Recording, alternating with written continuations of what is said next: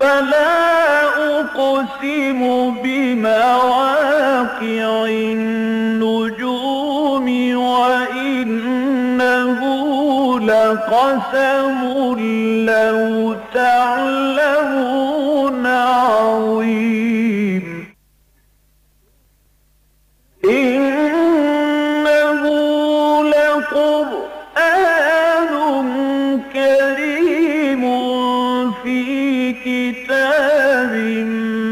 مكنون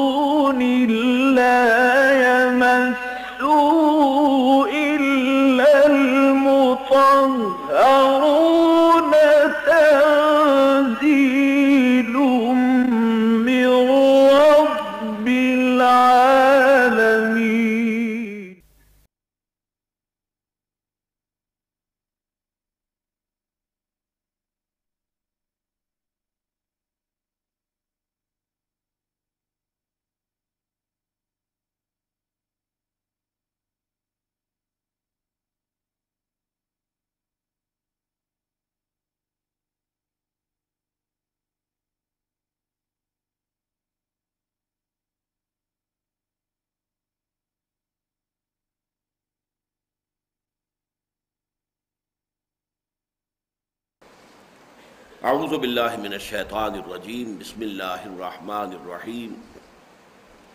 وَلَقَدْ صَدَقَكُمُ اللَّهُ وَعَدَهُ اِسْتَحُسُّونَهُمْ بِإِذْنِهِ حَتَّى إِذَا فَشِلْتُمْ وَتَنَازَعْتُمْ فِي الْأَمْرِ وَعَصَيْتُمْ مِنْ بَعْدِ مَا أَرَاكُمْ مَا تُحِبُّونَ. مِنْكُمْ مَنْ يُرِيدُ الدُّنْيَا وَمِنْكُمْ مَنْ يُرِيدُ الْآخِرَةَ ثُمَّ صَرَفَكُمْ عَنْهُمْ لِيَبْتَلِيَكُمْ وَلَقَدْ عَفَا عَنْكُمْ وَاللَّهُ ذُو فَضْلٍ عَلَى الْمُؤْمِنِينَ اس تسعدون ولا تلوون على احد والرسول يدعوكم في اخراكم فاصابكم غما بغم لكي لا تحزنوا على ما فاتكم ولا ما اصابكم والله خبير بما تعملون. ثم انزل عليكم من بعد الغم امنه نعاسا يخشى طائفه منكم وطائفه قد اهمتهم انفسهم يظنون بالله غير الحق ظن الجاهليه یقولون هل لنا من الامر من شيء قل ان الامر كله لله يخفون في انفسهم ما لا يبدون لك يقولون لو كان لنا من الامر شيء ما قتلنا ها هنا قل لو كنتم في بيوتكم لبرز الذين كتب عليهم القتل الى مضاجعهم وليبتلي الله ما في صدوركم وليمحص ما في قلوبكم واللہ علیم بذات الصدور.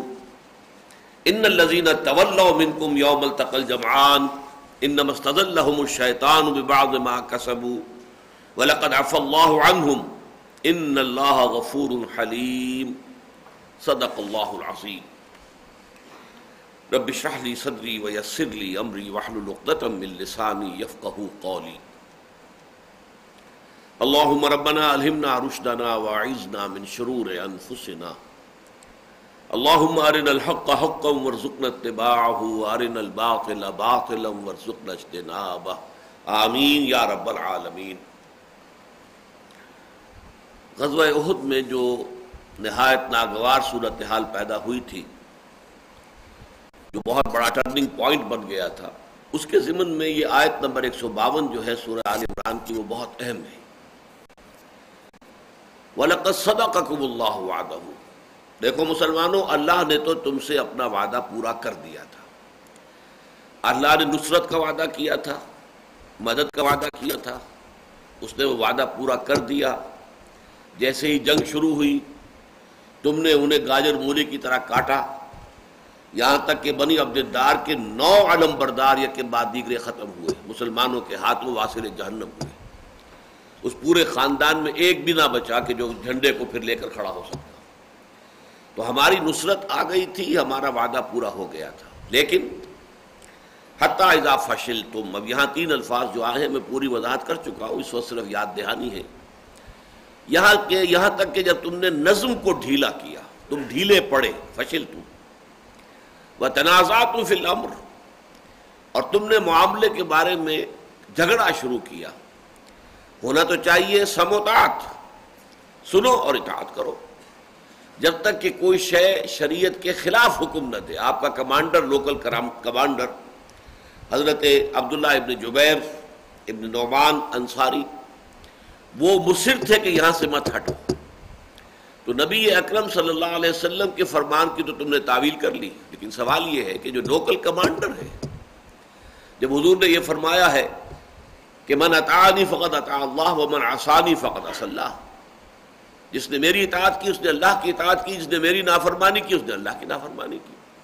وہ من عطا امیری فقط اطانی و من عصا امیری فقط آسانی جس نے میرے نامزد کردہ، مقرر کردہ امیر کی اطاعت کی، اس نے میری اطاعت کی۔ جس نے اس کی نافرمانی کی، اس نے میری نافرمانی کی۔ تو تم نے امیر کی نافرمانی کی۔ وہ آسے تم ممباد ماں آراکم۔ اور تم نے یہ نافرمانی کی اس کے بعد کہ اللہ نے تمہیں وہ شے دکھا دی، ما تحبون، جو تمہیں پسند ہے۔ اکثر لوگوں نے اس سے مراد مال غنیمت لیا ہے۔ میرے نزدیک یہاں مراد فتح ہے۔ سورہ صف کی آیت کی روشنی میں وہ اخرا تحبونہا نصر من اللہ و فتح القریب بندہ مومن کو فتحوں سے فتح سے شکست سے کوئی سروکار نہیں ہونا چاہیے، اپنا فرض ادا کرنے سے ساری بحث ہونی چاہیے۔ فتح و شکستوں کو پرواہ نہیں اگر آپ نے اپنا فرض ادا کیا، آپ کامیاب ہیں۔ منکم میورید دنیا و منکم میورید الآخرہ تم میں ایسے بھی ہیں کہ جو دنیا کے طالب ہیں، دنیا کی بھی دو چیزیں ہوتی ہیں، یا دنیا کی مال و دولت یا دنیا میں فتح مندی۔ تو دنیا کی فتح مندی تمہارے پیش نظر ہے۔ ہاں ایسے بھی ہیں کہ جو صرف آخرت کے طلبگار ہیں۔ سم صرفکم عنہم۔ تمہارے اس طرز عمل کی وجہ سے اللہ تعالیٰ نے تمہارے رخ کو پھیر دیا ان کی جانب سے۔ یہ بڑا عمدہ انداز تعبیر ہے کہ جب دشمن بھاگ رہا تھا اور مسلمان تعاقب میں تھے، اب یہ کہ مسلمانوں کا رخ پھیر دیا ان کی طرف سے۔ کیونکہ پیچھے عقب سے حملہ ہو گیا ہے۔ خالد بن ولید جو ہے اپنے رسالے کے ساتھ حملہ آور ہو گئے ہیں۔ لہذا سب کی توجہ پیچھے ہو گئی۔ تو گویا جو دوڑ رہے تھے، بھاگ رہے تھے ان کو بھی موقع ہو گیا کہ پیچھے پلٹ کر حملہ آور ہو جائے۔ تو اس طریقے سے چکی کے دو پارٹوں کے درمیان ہے، مسلمانوں تم آ گئے۔ لیکن یہ کس لیے؟ لے یب تلی یہ میں نے کئی مرتبہ واضح کر دیا ہے۔ اس سورہ مبارکہ میں یہ مضمون بہت وضاحت کے ساتھ اور تکرار کے ساتھ آیا کہ یہ جو مسائل دنیا میں آتے ہیں، مشکلات آتی ہیں اللہ کی طرف سے، تو در حقیقت ان میں بھی حکمت پوشیدہ ہے، اس میں بھی خیر ہے۔ ابتلا آزمائش۔ اسی سے معلوم ہوتا ہے کہ ہماری صفوں میں کہاں کہاں کوئی کمی ہے، کمزوری ہے ذوف ہے۔ کس کس پہلو سے ہمارے حالات جو ہے اصلاح طلب ہیں۔ اگر فتح پر فتح ہی حاصل ہوتی چلی جائے، اللہ تعالیٰ کی نصرت جو ہے ہر وقت ہماری غلطیوں اور خامیوں کو کنڈون کرتی رہے، تو پھر ظاہر بات ہے کہ اصلاح کی شکل کبھی بھی پیدا نہیں ہوگی۔ پھر یہ ہے کہ وہ غلطیاں جو ہے کمپاؤنڈ ہوتی چلی جائیں گی، بڑھتی چلی جائیں گی، خامیاں، کمزوریاں جمع ہوتی چلی جائیں گی۔ تو اللہ تعالیٰ کی حکمت ہوتی ہے کہ وہ چاہے کہ تم دیکھ لو کہ تمہارے اندر کہاں کہاں رکھنے ہیں، کہاں کہاں کوتاہیاں ہیں، کہاں کہاں کمزوریاں ہیں، کہاں کہاں پانی مرتا ہے جسے ہم اپنے محاورے میں کہتے ہیں۔ وَلَقَدْ عَفَا عَنْكُمْ، البتہ اللہ تمہیں معاف کر چکا ہے۔ یعنی جو خطا ہوئی ہے، نیک نیتی سے ہوئی ہے، اس میں کوئی بدنیتی نہیں تھی، کوئی نفاق نہیں تھا۔ لہذا اللہ نے معاف کر دیا۔ اگرچہ دنیاوی سزا اس نے دی تمہیں، یہ دنیاوی سزا ضروری تھی آئندہ کے لیے، تربیت کے لیے۔ لیکن یہ کہ اخروی اعتبار سے مواخذہ نہیں ہوگا۔ اللہ تمہیں معافی دے چکا۔ معافی کا یہ گویا کہ اللہ تعالیٰ کی طرف سے اعلان عام ہو گیا۔ ولقت افا عنکم اللہ تعالیٰ تمہیں معاف فرما چکا ہے۔ وہ اللہ حضو فضل المومنین اللہ تعالیٰ اہل ایمان کے حق میں بڑے فضل والا ہے۔ بہت کرم کرنے والا، بہت رحم فرمانے والا، رحیم ہے، غفور ہے، شفیق ہے، خطاؤں سے درگزر کرنے والا ہے۔ اب اس کے بعد اگلی آیات میں کوئی نقشہ کھینچا جا رہا ہے کہ جو افراتفری ہو گئی۔ ابھی جو میں نے الفاظ استعمال کیے کہ چکی کے دو پارٹوں کے درمیان آنے کی وجہ سے جو صورت حال بن گئی، کیوس۔ اس تسعدونا، جبکہ اے مسلمانوں تم چڑھے جا رہے تھے۔ اب ظاہر بات ہے کہ اب ایک ہی راستہ ان کے پاس بچت کا رہ گیا تھا۔ پہاڑوں پر چڑھ جائیں۔ دامن عہد میں جنگ ہو رہی ہے۔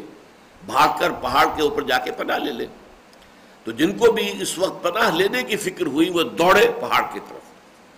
اس تسعدونا جبکہ تم چڑھے جا رہے تھے اوپر پہاڑ کے، ولا تلگون اعلی اور تم کسی کی طرف مڑ کر نہیں دیکھ رہے تھے۔ ہمارے ہاں بھی محاورے میں کہتے ہیں کہ وہ ایسا دوڑا کہ پیچھے مڑ کر نہیں دیکھا۔ یعنی وہ ایک کیفیت جو ہے اس کو، ولا تلون اعلیٰ احدم کسی کو پیچھے مڑ کر نہیں دیکھ رہے تھے کہ کون پیچھے آ رہا ہے، کون پیچھے رہ گیا ہے۔ وہ رسول و یدعوکم فی اخراکم جبکہ تمہارے عقب میں تمہارے پیچھے رسول صلی اللہ علیہ وسلم تمہیں پکار رہے تھے کہ مسلمانوں کہاں جا رہے ہو؟ الیہ یا عباد اللہ، اے اللہ کے بندو ادھر آؤ، اپنے قدموں کو جماؤ، مضبوطی کے ساتھ کھڑے ہو، مقابلہ کرو۔ صورتحال جو بھی آ گئی ہے، اب اس سے عہدہ برا ہونے کے لیے اپنی ہمت کو جمع کرو، مشتبہ کرو۔ فَأَصَابَكُمْ غَمًّا بِغَمٍّ لِكَيْ لَا تَحْزَنُوا عَلَى مَا فَاتَكُمْ وَلَا مَا أَصَابَكُمْ تو اللہ نے تمہیں غم کے بدلے غم دیا یا غم پر غم دیا؟ یہاں پر اصل میں غمن بغمن اصابکم، تم پر ڈالا، غم پر غم یا غم کے بدلے غم؟ دو ترجمے ہیں جو مفسرین نے اور مترجمین نے کیے ہیں۔ صورتحال یہ تھی کہ پے بپے غم آ رہے ہیں۔ پہلا غم تو یہ کہ فتح ہاتھ سے جاتی رہی دوسرا غم سامنے دیکھ رہے ہیں کہ بہت سے لوگ جو ہے شہید ہو رہے ہیں۔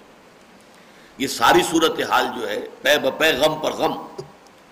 اور سب سے بڑھ کر غم یہ کہ حضور کے بارے میں یہ خبر اڑ گئی کہ حضور کا بھی انتقال ہو گیا، شہید ہو گئے، محمد صلی اللہ علیہ وسلم قتل ہو گئے۔ اب اس کو دو طریقے پر ترجمہ کیا ہے۔ ایک تو یہ کہ اللہ تعالیٰ نے یہ بڑا غم تمہیں دے کر، یہاں غم باعوض غم کے، یہ جو لفظی ترجمہ کیا جائے گا غمن بے غم من یعنی ایک غم کی بجائے دوسرا غم۔ تمہیں پہلے جو غم تھے، اس پر ایک بہت بڑا غم جو ہے اس کا اضافہ کر دیا، اور وہ غم کیا تھا؟ حضور صلی اللہ علیہ وسلم کے انتقال کی خبر۔ نتیجہ کیا نکلتا ہے؟ کہ اپنے سب دکھ بھول گئے، اپنے سارے غم جو ہیں، وہ در حقیقت اسی این دفتر بے معنی غرق میں نہ بھولا، اس بڑے غم کے اندر سب کے سب غم گھل گئے۔ اور ایک ترجمہ یہ کیا ہے، اور یہ عربی زبان میں قاعدہ ہے کہ حروف جار جو ہیں، وہ ایک دوسرے کی جگہ آ جاتے ہیں جو بھی زبان کا جو سیاق و سباق ہے اس کے اعتبار سے۔ تو فاسابکم غمن علا غمن یہ بھی اس کا مفہوم ہو سکتا ہے۔ غم پر غم، پے بپے غم، ایک غم، دوسرا غم، تیسرا غم۔ اس لیے کہ جب یہ انسان پر اس طریقے سے تابڑ توڑ اور پے بپے غم آتے ہیں، تو اس کا ایک نتیجہ نکلتا ہے۔ اس کے اندر جو ہے، تحمل کی طاقت بڑھتی چلی جاتی ہے، برداشت۔ جیسے کہ آپ کو معلوم ہے، ہمارے یہاں میڈیکل سائنس میں ہلکی ہلکی انفیکشن ہوتی رہے تو ریزسٹنس ڈیولپ ہو جاتا ہے۔ اور اچانک ایک انفیکشن ہو تو آدمی جو ہے پھر اس کا مقابلہ نہیں کر سکتا۔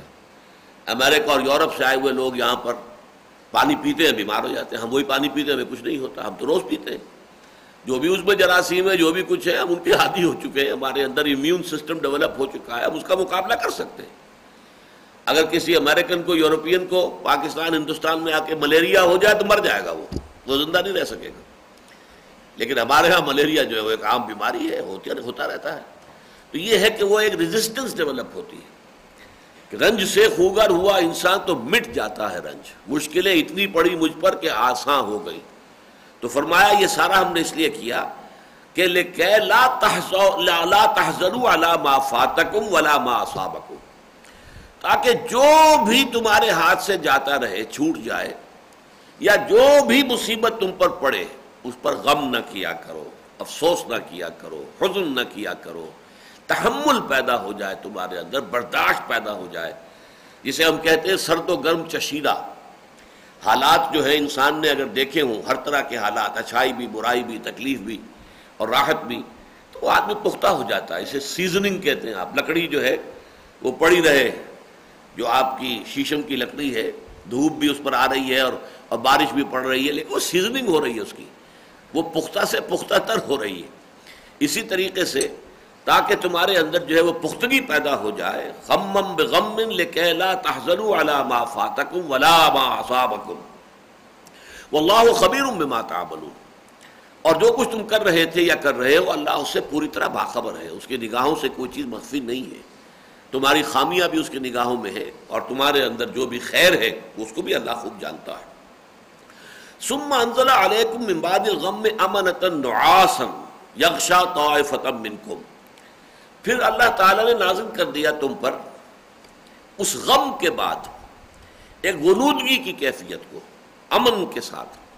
اب دیکھیے، انسان اگر متفکر ہے، پریشان ہے خوف زدہ اسے نیند نہیں آئے گی۔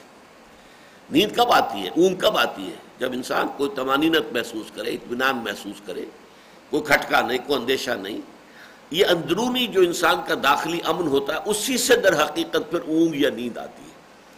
تو اللہ تعالیٰ اپنے ایک احسان کے طور پر فرما رہا ہے کہ اس ساری بپتا کے بعد اللہ تعالیٰ نے تمہارے دلوں کے اندر ایک ایسے امن کی کیفیت تاری کر دی۔ ثم انزل علیکم من بعد الغم میں امنتن ایک امن کی کیفیت، اطمینان کی کیفیت۔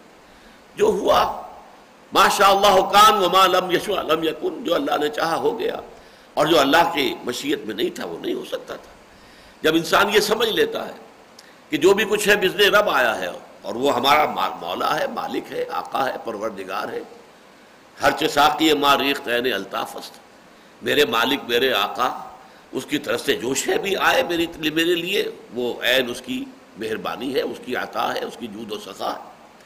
یہ کیفیت جب پیدا ہو جاتی ہے تو اس کا نتیجہ کیا نکلا کہ ایک طرح کی اونگ کی سی کیفیت بھی بہت سے اصحاب پر تاری ہوئی۔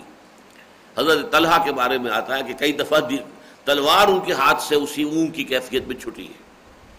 نواس یکشا طائفت منکم، یہ ایک اونگ تھی جو تم میں سے ایک گروہ کو ڈھانپے ہوئے تھی، ان کے اوپر تاری ہو گئی تھی۔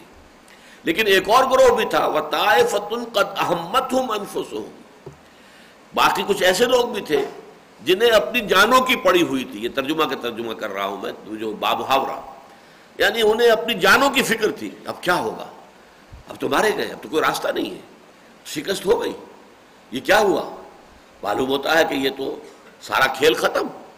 جن لوگوں کے اندر بھی کوئی ذوف ایمان تھا، نفاق نہیں ذوف ایمان، یہ دو چیزیں جدا ہیں بالکل۔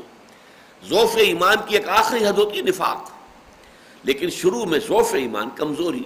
یہ اپنی جگہ پر ایک شے ہے، اس کے اپنے کچھ اثرات ہوتے ہیں اور ظاہر ہوتے ہیں۔ جن میں اس ایمان کی کچھ کمزوری تھی، ان کے حواس جو ہیں اس وقت، وہ سخت مختل تھے، پریشان تھے، انہیں اپنی پڑی ہوئی تھی۔ طائفت قد احمت ہوں انفسوم ان کو تو پوری طریقے سے ان کی اپنی جانوں نے ہی فکر دامن گیر کر دیا تھا کہ اب کیا بنے گا۔ یزنون باللہ غیر الحق ضن الجاہلیہ اور وہ اللہ کے ساتھ گمان کرنے لگے تھے، ناحق جاہلی دور کے گمانوں کے مانند۔ یہ کیا ہے؟ کیا واقع اللہ کے رسول کا وعدہ سچا تھا؟ یا ہو سکتا ہے کسی کے دل میں شیطان نے یہاں پہ وسلم اندازی کی ہو کہ ہم تو محمد پر ایمان لائے تھے؟ کیا واقع محمد اللہ کے رسول ہے یہ اگر اللہ کے رسول ہوتے تو یہ کیفیت کیسے ہو جاتی ہے ہمارے ساتھ؟ یہ ہمارا جو معاملہ ہوا ہے اللہ تعالیٰ کا محبوب ہو، اللہ کا حبیب ہو، اللہ کا رسول ہو، اللہ کا فرستادہ ہو، اللہ کا چنا ہوا ہو، مصطفیٰ، مرتضیٰ۔ لیکن یہ کہ یہ صورت حال ہو گئی۔ تو شیطان ظاہر بات ہے کہ اس کو تو جہاں تک وسوسہ اندازی ہے، اس کا تو اختیار حاصل ہے، اللہ تعالیٰ نے دے رکھا ہے۔ اللہ فی صدور الناس من الجنت والناس۔ تو یظنون باللہ غیر الحق ظن الجاہلیہ۔ وہ گمان کرنے لگے تھے اللہ کے بارے میں، ناحق، غلط۔ بے بنیاد، باطل گمان کہ جو در حقیقت جاہلیت والے دور کے سے گمان تھے۔ یقولون، اور وہ کہہ رہے تھے حل لنا من نمر من شے کیا ہمارے پاس بھی اختیار کی کوئی مقدار ہے؟ یعنی اصل خیال یہ آیا کہ یہ غلطی ہوئی کہ ہم کھلے میدان میں آ کر اس لشکر کے ساتھ ٹکرا گئے۔ یہ غلطی ہوئی۔ بجائے اس کے کہ وہ غلطی سامنے ہوتی۔ ظاہر بات ہے، اکثر و بیشتر لوگوں کے سامنے تو اس وقت عین میدان کارزار میں یہ حقیقت منکشف تھی ہی نہیں کہ غلطی کی ہے تیر اندازوں نے۔ یہ ساری صورتحال کیوں ہو گئی ہے؟ اکثر کے لیے تو وہ اچانک صورتحال جو ہے وہ بدل گئی۔ کہ ابھی تو صورتحال یہ تھی کہ دشمن بھاگ رہا تھا، ہم اس کا تعاقب کر رہے تھے، وہ اچانک یہ ہے کہ ہمیں اپنی جانوں کی پڑ گئی ہے۔ ہم دو چکی کے دو پاٹوں کے مابین آ گئے۔ اب سبب کیا ہوا؟ غلطی کیا ہوئی؟ وہ تو ظاہر بات ہے کہ ہم پہلی آیت میں پڑھ چکے ہیں کہ سبب تو تمہاری اپنی غلطی تھی۔ وہ جو پینتیس یا چالیس تیر انداز وہاں سے ہٹ گئے اور حضور صلی اللہ علیہ وسلم کی جو بھی ہدایت تھی، اس کی اس کی خلاف ورزی ہو گئی۔ خواہ حضور کے قول کی تعویل کی گئی ہو، لیکن لوکل کمانڈر جو ہے، اس کے حکم کی تو خلاف ورزی ہوئی ہے۔ تو اصل میں تو اللہ نے اس کی بنا پر تمہیں اس ابتلا میں اور آزمائش میں ڈالا ہے۔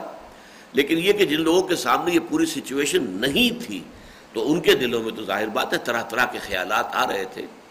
اور ان کا ذہن یہ بن رہا تھا کہ بات غلط ہو گئی کہ ہم نے کھلے میدان میں بہتر شکل یہی تھی کہ ہم جو ہے مدینے میں محسور ہو کر دفاع کرتے اور مقابلہ کرتے۔ کیونکہ یہ بات مشورے میں پہلے آئی تھی۔ حضور کی اپنی رائے بھی یہی تھی۔ اتفاق دیکھیے اسے۔ سوئے اتفاق کہیے اسے کہ عبداللہ ابن ابئی کی رائے بھی یہی تھی۔ ایک طرف اللہ کے سچے رسول کی رائے تھی اور ایک طرف ایک منافق اور رئیس المنافقین کی رائے تھی۔ لیکن رائے جو ہے وہ ایک ہو گئی تھی۔ کچھ اور لوگ بھی ہوں گے کہ جو اس رائے کے حامل ہوں۔ لیکن چونکہ بہت سے لوگوں نے بڑے جوش کا اور بڑے جذبات کا مظاہرہ کیا کہ ہمیں تو شہادت کی موت درکار ہے، اور وہ لوگ جو خاص طور پر بدر میں نہیں جا سکے تھے کہ بدر میں تو اعلان تھا ہی نہیں۔ وہ تو صرف ایک قافلے کا راستہ روکنے کے لیے کچھ لوگوں کو ساتھ لے کر حضور نکلے تھے، جنگ کا تو کوئی سوال ہی نہیں تھا۔ اب انہیں یہ حسرت تھی کہ اتنی بڑی فضیلت سے ہم محروم رہ گئے کہ ہم غزوہ بدر میں شریک نہ ہو سکے۔ جب سورہ انفال نازل ہوئی ہوگی تو اس سے کتنا حسرت کا آپ اندازہ کر سکتے ہیں لوگوں کی کہ کیا ان کا مقام و مرتبہ تھا کہ جو اس میدان مدر میں حاضر تھے؟ تو اس سے محرومی ہو گئی۔ اس محرومی کا ان کے اوپر رد عمل تھا کہ ہمیں تو اب پورا موقع ملنا چاہیے، ہم اپنے شجاعت کے جوہر بھی دکھائیں، اپنے ذوق شوق جہاد اور ذوق شہادت کا جو ہے اس کا بھی اظہار کر سکیں۔ لیکن اب ان کو یہ خیال آیا کہ در حقیقت وہ لوگ جن کی رائے یہ تھی کہ محصور ہو کر مدینے میں دفاع کرنا چاہیے، بات ان کی درست تھی۔ لیکن یہ معاملہ عجیب ہے۔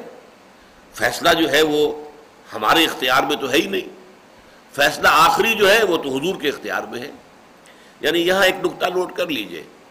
اگرچہ مشاورت حضور نے کی تھی، ایک رائے یہ بھی حضور کی بھی تھی اور کچھ اور لوگوں کی بھی کہ مدینے میں محصور ہو کر دفاع کیا جائے۔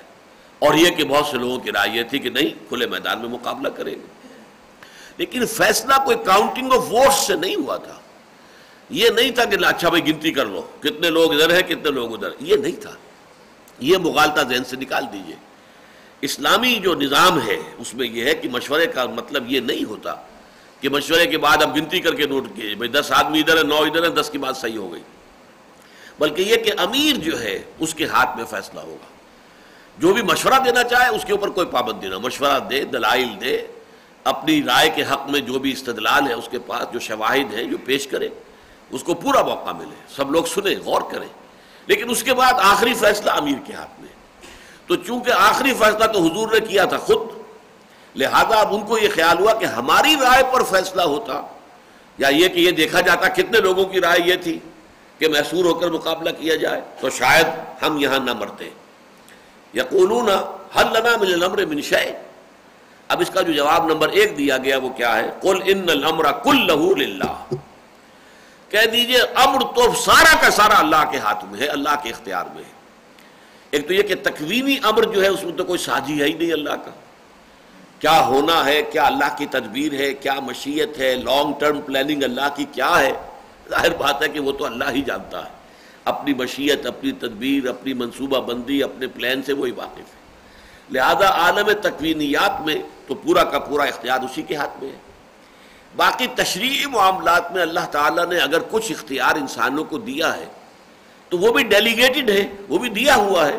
ان کا اپنا تو نہیں ہے، ذاتی استحقاق تو نہیں ہے۔ یہ بڑی پیاری بات ہے جو ہمارے قرارداد مقاصد میں بیان کی گئی ہے کہ اس میں یہ طے کیا گیا کہ حاکمیت اللہ کی ہے۔ اور ہمارے پاس جو اختیار ہے وہ بھی ڈیلیگیٹڈ ہے، بھائی، اللہ کی طرف سے دیا ہوا ہے۔ اور یہ ہمارے پاس ایک مقدس سیکرٹ ٹرسٹ ہے، مقدس امانت ہے۔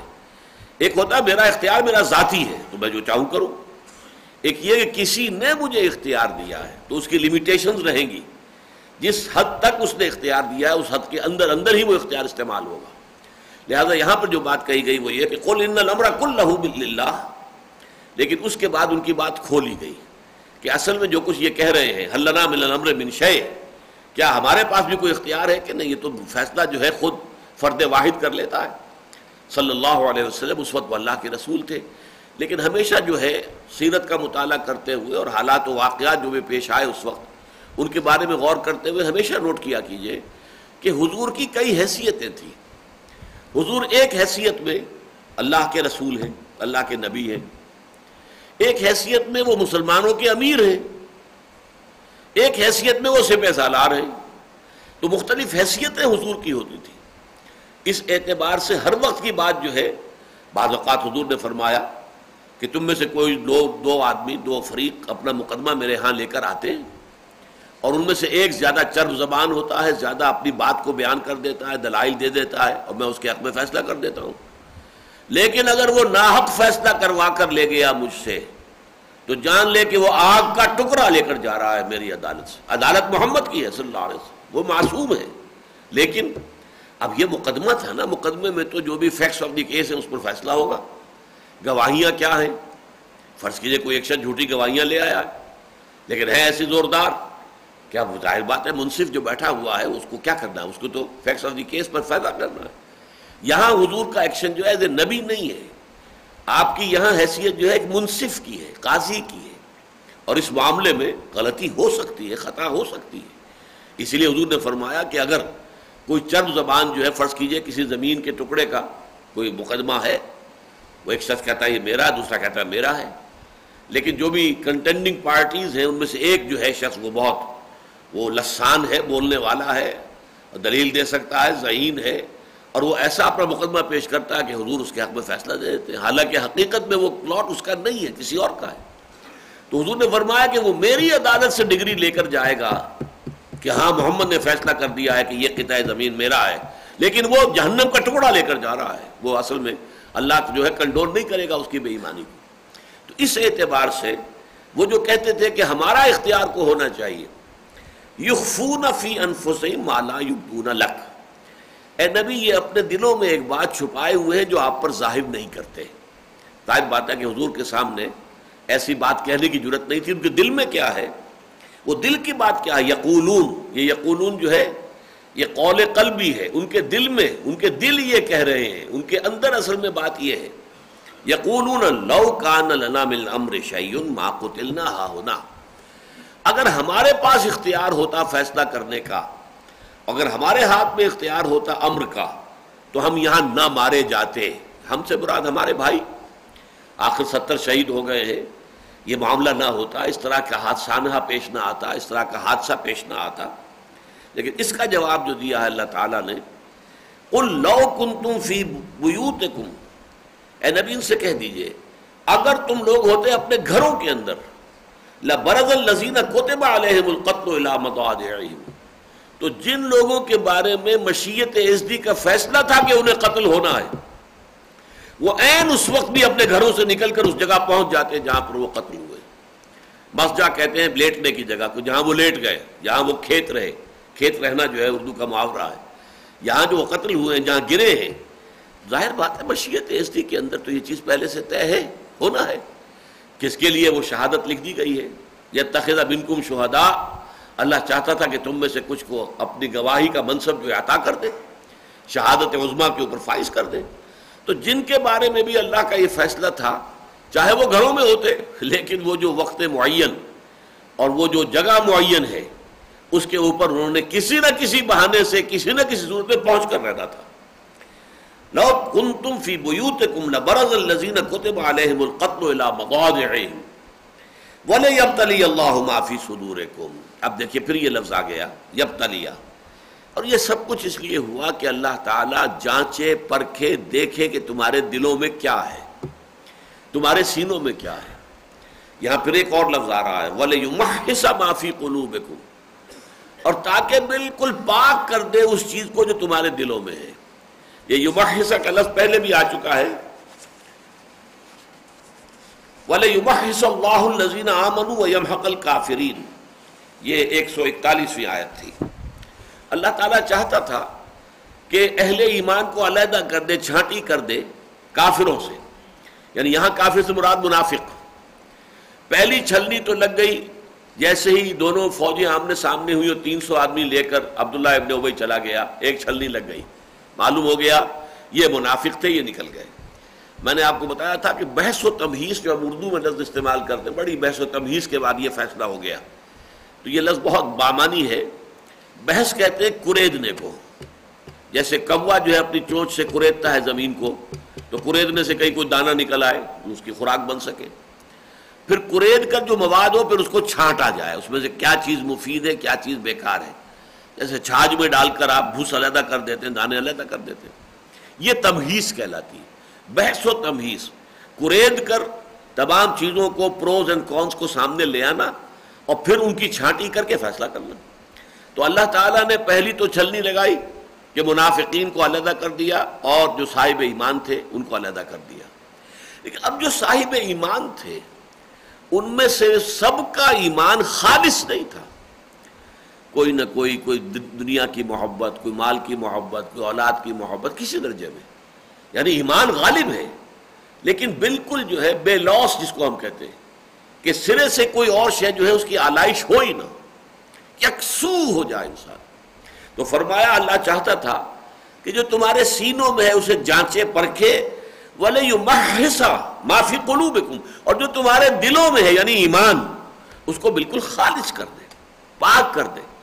ہر طرح کے شائبے سے، ہر طرح کی ذوف سے، ہر طرح کی کمزوری سے، مقاصد میں، مطالب میں مقصود جو ہے، لا مقصود الا اللہ، لا مطلوب الا اللہ، لا محبوب الا اللہ، یہ پورے خلوص اور اخلاص کے ساتھ اور پوری یکرنگی کے ساتھ، یکسوئی کے ساتھ تمہاری کیفیت ہو جائے، یہ اس آزمائش کا مقصد تھا۔ یہ دوسری چھلنی ہو گئی۔ ایک چھلنی ظاہر میں لگی، منافق علیحدہ ہو گئے، صاحب ایمان ایک طرف ہو گئے۔ لیکن صاحب ایمان میں بھی ہر ایک کے درجات ہیں۔ ایک ایمان ابو بکر صدیق کا ہے، عمر فاروق کا ہے، ایک ایمان عام ایک صحابی کا ہے۔ وہ منافق نہیں ہے۔ لیکن ایمان جو ہے وہ اس درجے کا نہیں ہے۔ ایمان میں ذوف بھی ہو سکتا ہے، جو الفاظ ابھی ہم پڑھتے آ رہے ہیں کہ جن کے دلوں میں ایمان ذوف ذرا کمزور تھا، ان کے لیے یہ کہ قد احمد ہم انفس یزون بلّہ غیر الحق ضن الجاہلیہ۔ ان کے اوپر جو وسوسہ شیطانی ہے، اس کا غلبہ ہو گیا، حملہ ہو گیا۔ اس لیے کہ ان کا ایمان اتنا مضبوط نہیں تھا، منافق ہرگز نہیں تھے۔ لیکن اب ایمان کی جہاں تک سٹرینگتھ کا تعلق ہے، ایمان کی جہاں تک گہرائی کا تعلق ہے، ایمان کے جہاں تک رسوخ کا تعلق ہے، پختگی کا تعلق ہے، وہ سب برابر نہیں ہوتے۔ خدا پنج انگوش یکساں نہ کر نہ ہر زن زنستو، نہ ہر برد برد ہر ایک کا معاملہ علیحدہ ہے۔ لہذا یہاں اللہ تعالیٰ نے چاہا کہ جو کچھ تمہارے سینوں میں ہے، اسے جانچے اور پرکھے۔ اور جو تمہارے دلوں میں ہے، دلوں میں کیا ایمان؟ اس کو بالکل پاک کر دے، صاف کر دے۔ اس میں کوئی آلائش، کسی اور طرح کی شے جو ہے باقی نہ رہے۔ واللہ علیم بذات الصدور۔ اور دیکھو اللہ تعالیٰ خوب واقف ہے جو کچھ کے سینوں کے اندر ہے، جو کچھ لوگوں کے اندر، سینوں کے اندر جو ارادے ہیں، جو نیتیں ہیں۔ ایمان ہے تو کتنا ہے، کتنا پختہ ہے، کتنا گہرا ہے، کتنا یکسو ہے، یہ ساری چیزیں اللہ کے علم میں ان لذین طول منکم یوم التقل جمان اب یہاں ایک اور بہت اہم حقیقت ہے جس پر سے پردہ اٹھایا جا رہا ہے۔ یقیناً وہ لوگ کہ جو پیٹ موڑ گئے تم میں سے اس دن جبکہ دو لشکر آپس میں بھڑ گئے تھے، مراد ہوئی ہے، یوم عہد دو لشکر تھے، مسلمانوں کا اور ایک کفار کا۔ اب جو افراتفری ہوئی ہے تو کچھ لوگ میدان چھوڑ کر بھاگ گئے۔ اب ان کی طرف جو ہے وہ التفات ہے۔ ان لذین طول منکم، جو لوگ پیٹ دکھا کر چلے گئے۔ اور یہ پیٹ دکھانا جو ہے میدان جنگ سے، یہ بہت بڑا جرم ہے۔ سورہ انفال میں اس کے بارے میں آیا ہے کہ پیٹ دکھا دینا میدان جنگ سے پیٹ موڑ کر چلے جانا، بھاگ جانا، یہ بہت بڑا جرم ہے۔ لیکن یہ ہوا کیوں؟ یہ منافق تو نہیں تھے۔ منافق تو پہلے چلے گئے تھے۔ یہ کیسے ہوا؟ ان لذین طول منکم یوم التقل جمان بے شک وہ لوگ جو پیٹھ موڑ کر چلے گئے تم میں سے، جس دن کے وہ دونوں لشکر جو ہیں، ان کا مقابلہ ہوا ان نمست الحم الشیطان بباد ماں کسب اور ان کو شیطان نے پھسلا دیا تھا ان کے بعض اعمال کی وجہ سے۔ یہ ایک فلسفیانہ بات ہے، حکمت بھری بات ہے جو یہاں یہ۔ دیکھیے، انسان اگر کوئی غلطی کرتا ہے، کوئی گناہ کرتا ہے، اور گناہ سے اس نے فرض کی یہ توبہ کر لی، توبہ سے اس کی سزا تو زائل ہو جائے گی۔ لیکن ایسے محسوس ہوتا ہے کہ اس گناہ کا کچھ اثر اس کی اپنی شخصیت کے اندر باقی رہ جاتا۔ ہے کچھ کمزوری کسی کیفیت پیدا ہو جاتی ہے۔ اور یہ کمزوری وہ ہوتی ہے کہ جس کے سبب سے پھر اس کا ظہور ہوتا ہے کسی ایسے موقع پر۔ یہی معاملہ ہے جو حضرت موسیٰ علیہ السلام کے بارے میں قرآن میں آیا ہے۔ کہ حضرت موسیٰ علیہ السلام جب کوہ طور پر پہنچے ہیں اور جب اللہ تعالیٰ نے وہاں فرمایا کہ تمہارے ہاتھ میں اسے ڈال دو، زمین پر انہوں نے اپنا آسا ڈال دیا اور وہ سانپ بن گیا۔ فلما راہ تحت کاننا جان ولہ موسا مدبرن۔ اور حضرت موسا نے جو ہے پیٹ دکھا کر وہاں سے بھاگنا شروع کیا وہ لم یعقب وہی لفاظ آئے ہیں، پیچھے مڑ کے نہیں دیکھا، خوف۔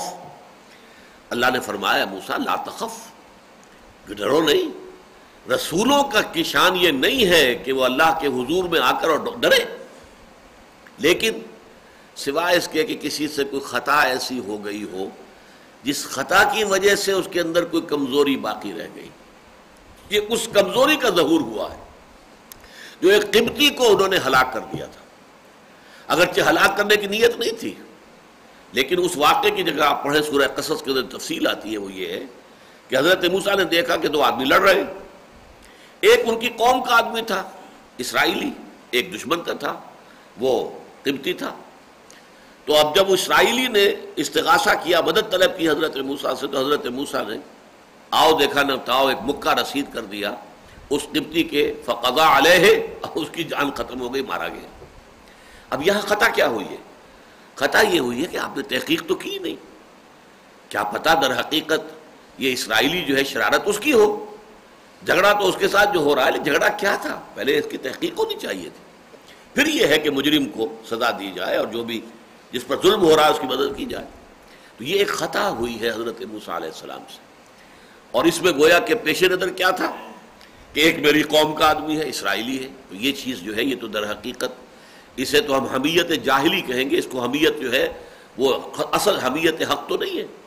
دیکھنا یہ چاہیے، جیسے کہ سورہ نصاب میں قرآن مجید میں فرمایا گیا کہ تم عدل کی بات کرو، یا ایو الذین آمنوا کونوا قوامین بالقسط شہداء للہ ولو علی انفسکم او الوالدین والاقربین۔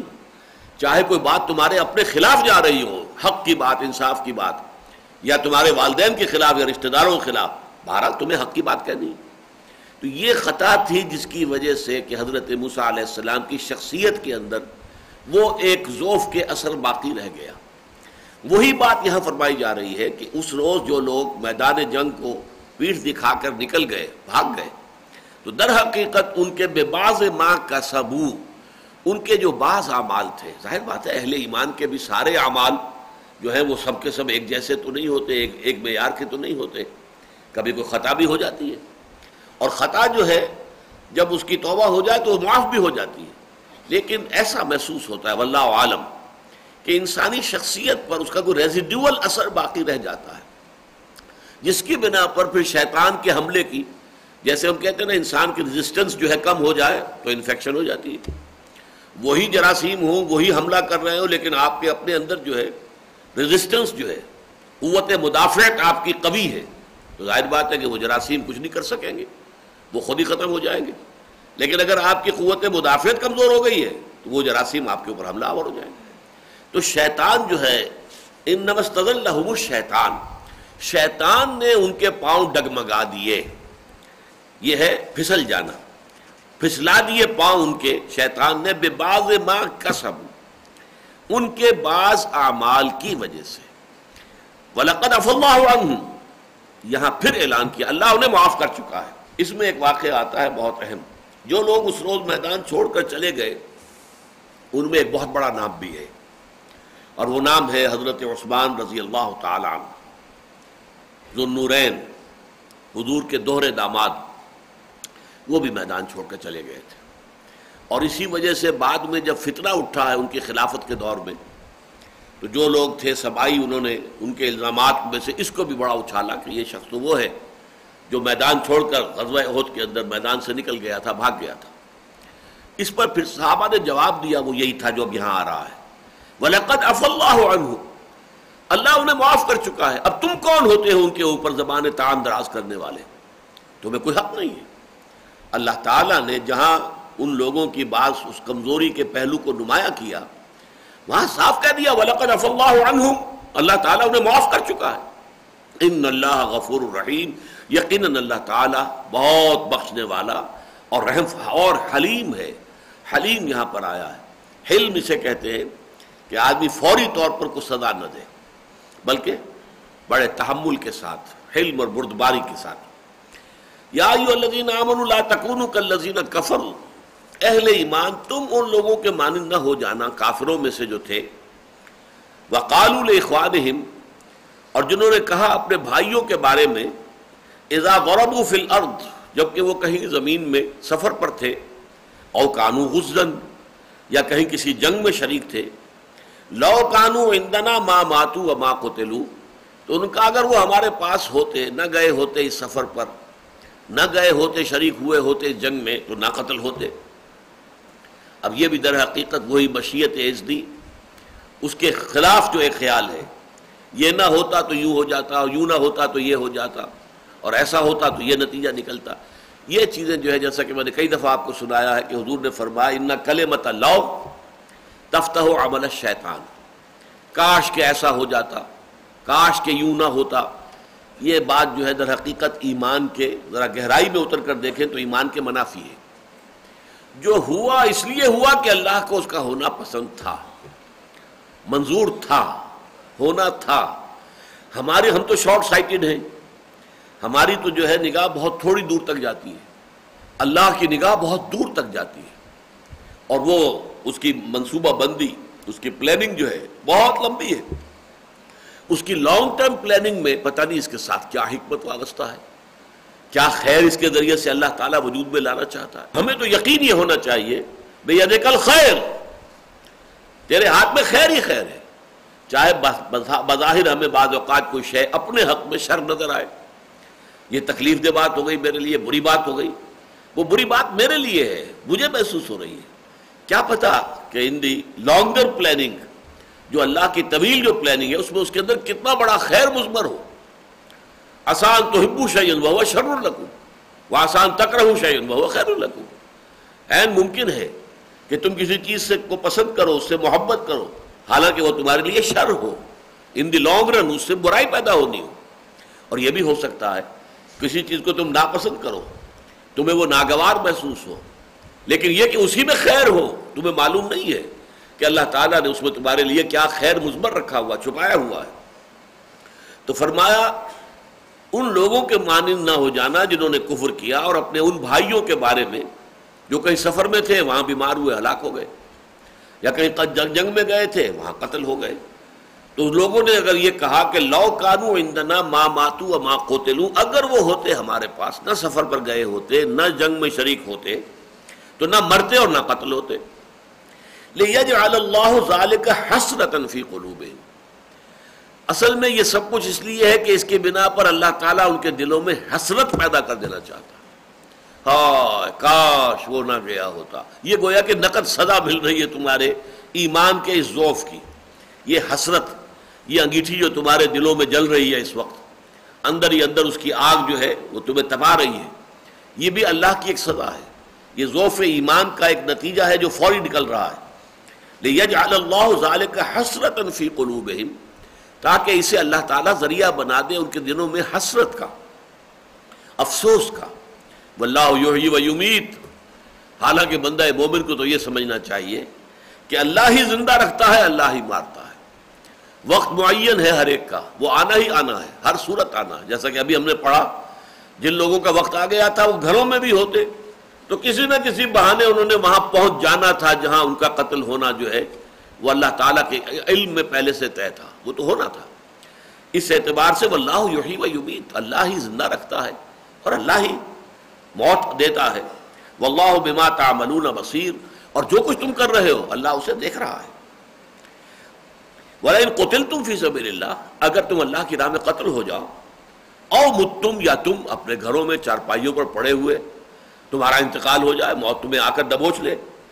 تو یقیناً لمغفرت من اللہ ہے ورحمت الخیر مما یجمعون۔ تو اللہ تعالیٰ کی طرف سے جو مغفرت ملنے والی ہے اور جو رحمت، وہ یقیناً اس سب سے بہت بہتر ہے جو یہ جمع کر رہے ہیں۔ یعنی یہ کہ اصل شے جس کی طرف توجہ ہونی چاہیے کہ ہم اللہ تعالیٰ کی مغفرت کے حقدار بن سکیں، اللہ تعالیٰ کی رحمت کے مستحق بن سکیں۔ باقی موت اس شکل میں آئے یا اس شکل میں آئے؟ جیسا کہ حضرت خالد ابن ولید کے بارے میں آتا ہے رضی اللہ تعالیٰ عنہ۔ وہ کہتے ہیں کہ میرے جسم میں چار انگلیوں کے مانند بھی جگہ نہیں ہے کہ جہاں کوئی نہ کوئی تلوار کا یا نیزے کا زخم نہ ہو۔ لیکن دیکھو میری حالت کہ میں اونٹ کی طرح گھر میں چارپائی پر پڑا مر رہا ہوں۔ یعنی مجھے اللہ تعالیٰ کی طرف سے شہادت نصیب نہیں ہونی تھی، نہیں ہو رہی۔ کتنی جنگوں میں میں لڑا، کس طرح لڑا بےجگری سے لڑا، کتنی مرتبہ زخمی ہوا، میرے جسم کے جو ہے وہ یوں سمجھئے کہ چھلنی ہوا ہوا زخموں سے۔ تو چاہے تلواروں کے زخم بھی ہیں اور نیزوں کے زخم بھی ہیں، لیکن دیکھ لو، موت میری جو ہے وہ اس بسترے کے اوپر آ رہی ہے۔ فلا نامت آئین جو بنا تو دیکھو، میرے اس حقیقت کو دیکھ کر، میرے اس حال کو دیکھ کر، جو بزدل ہیں، انہیں سبق حاصل کرنا چاہیے۔ نہیں، بزدل آدمی جنگ میں جانے سے ڈرتا کہ موت نہ آ جائے۔ موت جو ہے وہ جنگ میں جانے سے نہیں آتی ہے۔ موت تو اللہ کے حکم سے آتی ہے۔ اگر اس کا وقت آ گیا ہے تو گھر میں بھی ہوگے تو مرو گے۔ لیکن یہ کہ یہ جو بھی جبن ہے انسان میں، یہ حضرت خالد ابن ورید کا قول ہے فلاں نامت آجن بنا تو جو نامرد لوگ ہیں یا بزدل لوگ ہیں، ان کی آنکھیں جو ہیں، ان کو سونا نہیں چاہیے۔ یعنی اس حقیقت کو کھول کر دیکھ لیں کہ میں میں خالد ابن ولید کتنی جنگوں پہ حصہ لینے والا، اور جس کا جسم جو ہے چھنا ہوا ہے زخموں سے، لیکن میری موت جو ہے، وہ بستر پر گھر میں ہو رہی ہے۔ لہذا یہ بات نوٹ کر لینی چاہیے کہ جنگ میں جانے کا مطلب یہ نہیں ہے کہ لازمن موت آ جائے۔ لہذا اس کی وجہ سے کوئی بزدری نہیں ہونی چاہیے۔ ولا ان قتل تم فی سبیل اللہ او مت تم مغفرت من اللہ و رحمت خیر مما یجمعون تو جو رحمت ہے اللہ کی طرف سے اور مغفرت، وہ یقیناً بہت بہتر، قیمتی، وقی ہے۔ ان تمام چیزوں سے جو وہ جمع کر رہے ہیں۔ ولا ان متم اور قتل تم اللہ تو شروع اور کیا فرق واقع ہوتا ہے؟ اگر تم مرو یا قتل ہو جاؤ۔ تو موت تو دونوں شکلوں میں آ گئی نا۔ چاہے بستر پہ پڑ کے موت آئی ہے اور چاہے قتل ہو کر موت آ گئی ہے۔ لا اللہ تو شرون ظاہر بات ہے کہ ہر حالت میں دونوں صورتوں میں بہرحال تمہیں اللہ ہی کی طرف دھکیلا جائے گا، جمع کیا جائے گا، پہنچنا تو وہی ہے۔ بارگاہ خدا بندی ہی میں حاضری ہو کر رہے گی۔ اب اس کے بعد جو آیت آ رہی ہے، یہ بھی سورہ مبارکہ کی بڑی عظیم آیات میں سے ہے۔ اور نظم جماعت کے حوالے سے اور خاص طور پر کسی جماعت اقامت دین کے لیے قائم ہونے والی جماعت کے امیر کا جو طرز عمل ہونا چاہیے، اس کے لیے گویا کہ نہایت ہی جامع ہدایت نامہ ہے یہ آیت۔ فبما رحمت من اللہ تو یہ اللہ تعالیٰ کی رحمت کا مظہر ہے اے محمد صلی اللہ علیہ وسلم، کہ آپ ان کے حق میں بہت نرم ہیں۔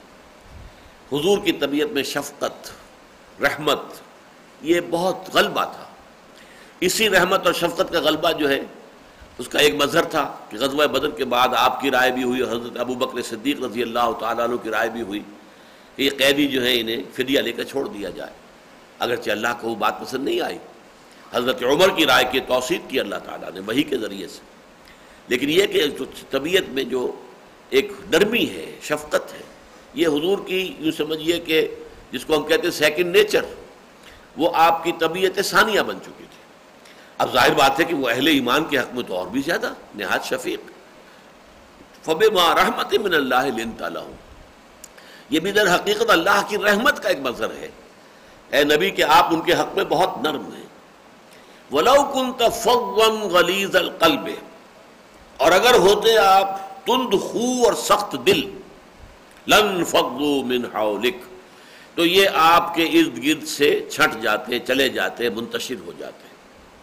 یعنی وہ جو اقبال نے کہا ہے، کوئی کارواں سے ٹوٹا، کوئی بدگما حرم سے کہ امیر کارواں میں نہیں خوئے دل نوازی۔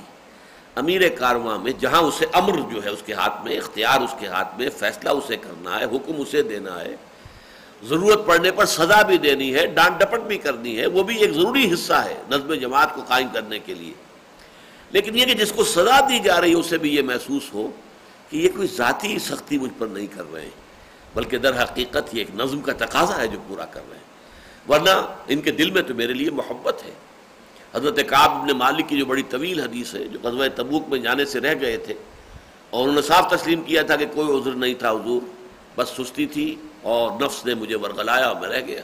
انہیں سزا دی گئی، بڑی سخت سزا دی گئی۔ لیکن یہ ہے کہ وہ خود کہتے ہیں کہ میں مسجد میں ہوتا تھا تو میں کننکھیوں سے دیکھتا تھا حضور کی طرف، تو میں دیکھتا تھا کہ حضور بھی میری طرف دیکھ رہے ہیں اور شفقت بھری، محبت بھری نگاہ سے دیکھ رہے ہیں۔ لیکن جب میں حضور کا رخ کرتا تھا، حضور اپنی نگاہ پھیر لیتے تھے۔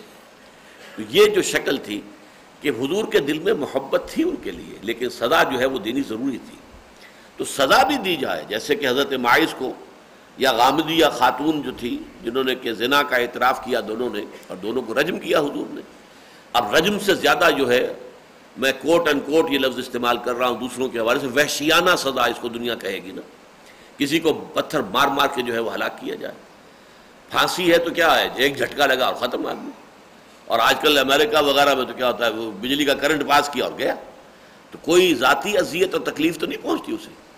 لیکن ایک شخص یا ایک ایک عورت وہ اپنے ہاتھوں سے سر بچا رہی ہے اور پتھر لگ رہا ہے۔ سر بچاتی ہے تو پیر جسم پہ پتھر لگ رہا ہے۔ اور اتنے پتھر مار مار کے اس کو ہلاک کر دیا جائے۔ بڑی سخت سزا ہے، بڑی سخت سزا ہے، بڑی سخت سزا ہے۔ حضور نے وہ سزا دی ہے اللہ کے حکم کی تنفیس میں، لیکن یہ کہ ساتھ ہی کیفیت یہ تھی کہ جب کسی نے بعد میں کہہ دیا کہ کس قدر بے حیا تھی یہ عورت اور کس قدر بے حیا تھا یہ شخص، تو حضور نے کہا، ڈانٹ پلائی۔ کہ انہوں نے وہ توبہ کی ہے کہ اگر تمام مدینے کے رہنے والوں پر وہ توبہ تقسیم کر دی جائے تو سب کے نجات کا ذریعہ بن جائے گی۔ ایک طرف یہ کیفیت ہے دل میں ان کے لیے جو جذبات ہیں وہ یہ ہے لیکن حکم خدا بندی کی تنفیس جو ہے، تقاضا جو ہے، شریعت کا، اس کے اندر ولکم فی القصاص حیات یا اول الباب۔ قصاص کے اندر سزا دینے میں تمہارے لیے زندگی ہے۔ لیکن ایک ہے شفقت، قلب میں شفقت ہونی چاہیے۔ فبما رحمت من اللہ لنت لہم تو یہ بڑے اللہ کے رحم اور کرم اور فضل کا مظہر ہے نبی صلی اللہ علیہ وسلم، کہ آپ ان کے حق میں بہت نرم ہیں، شفیق ہیں۔ ولو كنت فضوا غلیظ القلب، اگر ہوتے آپ تند خو، ہر وقت تیوریاں چڑھی ہوئی ہیں، ماتھے پر بل ہے اور درستی کے ساتھ بات ہو رہی ہے، معلوم ہوتا سخت خشونت ہے دل کے اندر، غلیظ القلب سخت دل ہوتے لنفضوا من حولک، تو یہ آپ کے ارد گرد سے یہ مجمع جو ہے، یہ آپ کی خوئے دل نوازی، آپ کی شفقت، آپ کی رحمت، جہاں ایک طرف اللہ پر رسول پر ایمان جو ہے، وہ آپ کے ساتھ جوڑے ہوئے ہیں۔ ساتھ ہی آپ کی محبت، آپ کی شفقت بھی ان کی شیرازہ بندی کے اندر یہ کافی بڑا رول پلے کر رہی ہے۔ فافوان ہوم تو اے نبی، ان کو معاف کر دیا کیجیے یعنی جو خطا اب ہم دو مرتبہ آج پڑھ چکے ہیں۔ وَلَقَدْ عَفَا عَنْكُمْ۔ وَلَقَدْ عَفَا اللَّهُ عَنْهُمْ۔ اللہ تمہیں معاف کر چکا۔ اللہ نے ان سب کو معاف کر دیا۔ اسی کا ایک عکس، اسی کا ایک ذل، اسی کا ایک سایہ۔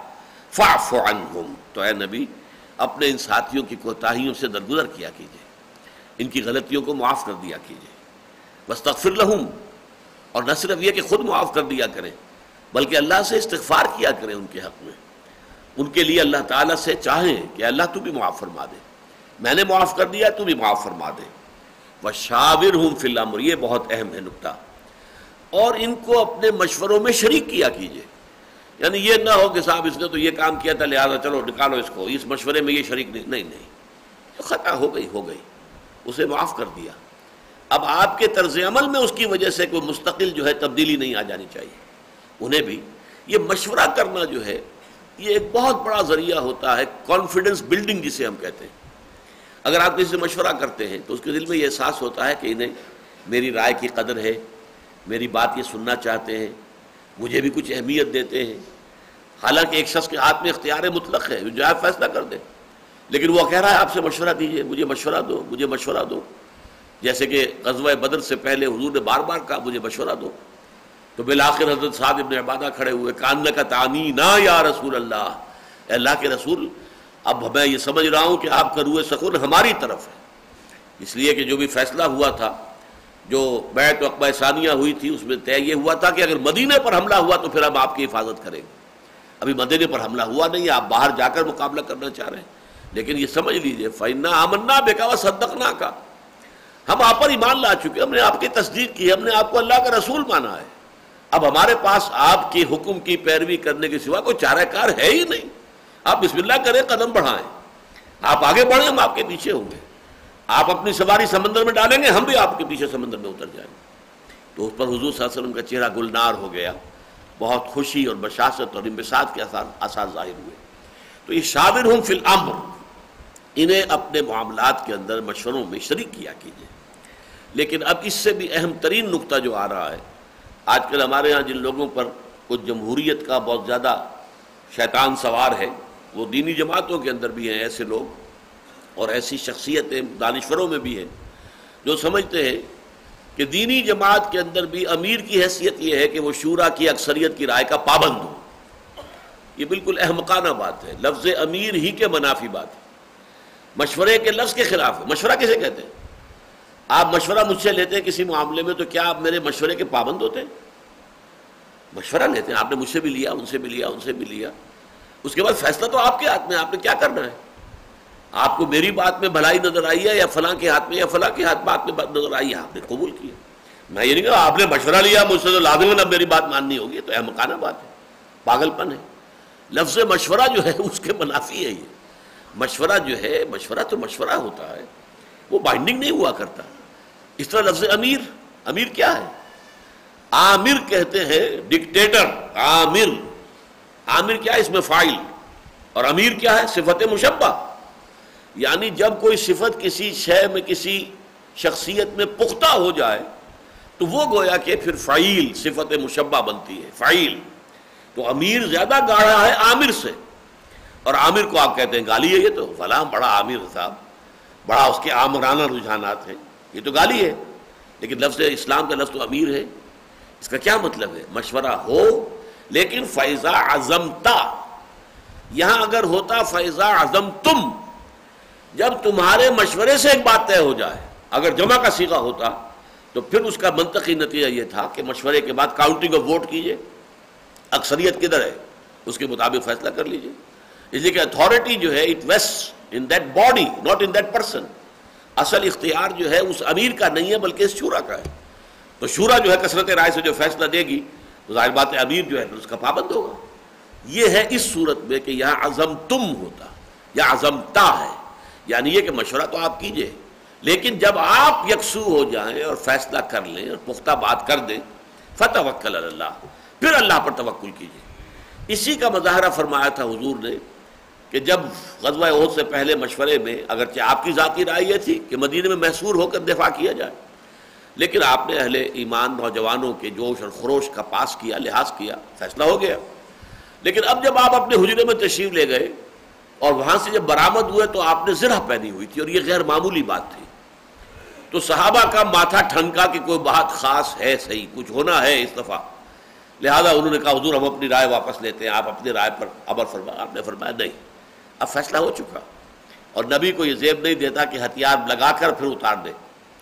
تو گویا کہ فیصلے کے بعد جو ہے، اب یہ نہ ہو کہ ابھی یہ فیصلہ، ابھی یہ فیصلہ ہے۔ پھر آدمی جو ہے، اسی طریقے سے شیکی شیکی نس کا مظاہرہ۔ یہ بھی امیر کے منصب کے منافی ہے معاملہ یہ ہے کہ ٹھیک ہے، سوچ لیا، غور کر لیا، اور جتنا بھی ممکن ہے، جتنا بھی وسیع سے وسیع تر ہو سکتا ہے دائرہ، مشاورت کا، وہ آپ نے کر لیا، رائے سامنے اب فیصلہ امیر کا ہے۔ حکومت کے معاملے میں فرق پڑ سکے گا، وہ ایک علیحدہ بات ہے۔ جمہوریت اسلام میں جماعتی صورت میں کچھ اور ہے، حکومتی سطح پر کچھ اور ہے۔ اور یہ میرا اس وقت کا موضوع نہیں ہے۔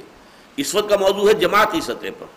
تو جماعتی سطح پر یہ آیت جس کو لوگ پیش کرتے ہیں تو وہ غلط استدلال کرتے ہیں شاور ہوں فی الامر کے بعد فیضا اعظمتا واحد کا سیکھا ہے۔ پھر جب آپ کوئی فیصلہ کر لیں، فتوکل علی اللہ تو پھر اللہ تعالیٰ پر توکل کیجیے۔ ان اللہ یحب المتوکلین یقین اللہ تعالیٰ توکل کرنے والوں کو پسند کرتا ہے۔ بارک اللہ علی ولکم فی القرآن العظیم و نفعنی ویاکم بالآیات و ذکر الحکیم۔